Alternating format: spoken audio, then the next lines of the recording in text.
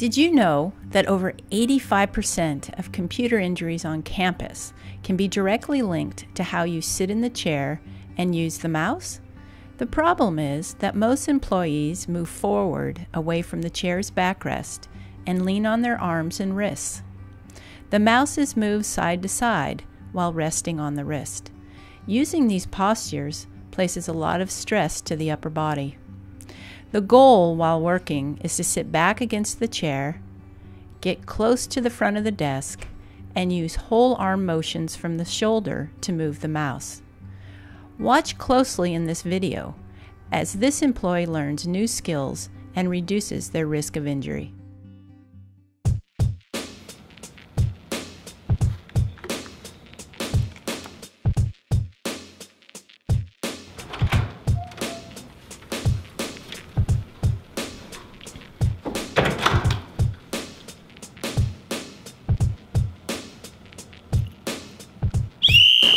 Heck? Excuse me, ma'am. What? I'm here to report an unsafe posture. I thought we had a fire alarm. Just the posture, please, ma'am. Have a seat. Uh, all right.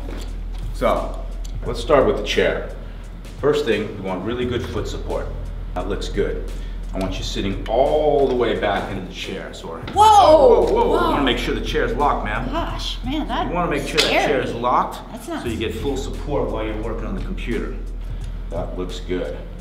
Next thing, I want to make sure your shoulder blades are touching the chair. So your ears are over your shoulders or over your elbow in alignment. That looks really, really good. Let's make sure everything is at the correct height.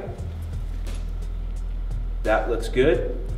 If it is not at the correct height, please take the Computer Health Matters online or in-person course by clicking the link below.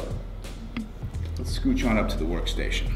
Nice and close, so your elbows are by your sides, your shoulder blades are touching, and we're not reaching so too far from the mouse. You'll get used to it, it'll become more comfortable.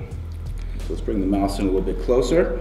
You have a nice relaxed grip on top of the mouse, so we're not over gripping. Oh. Just leave it on there. Oh, okay. You want to think about we're driving more from the shoulder, not moving the wrist. Oh, and the So arm just follows along. Exactly. Wow, it's so like much Mr. Miyagi, easier. Waxing on, waxing off. Okay.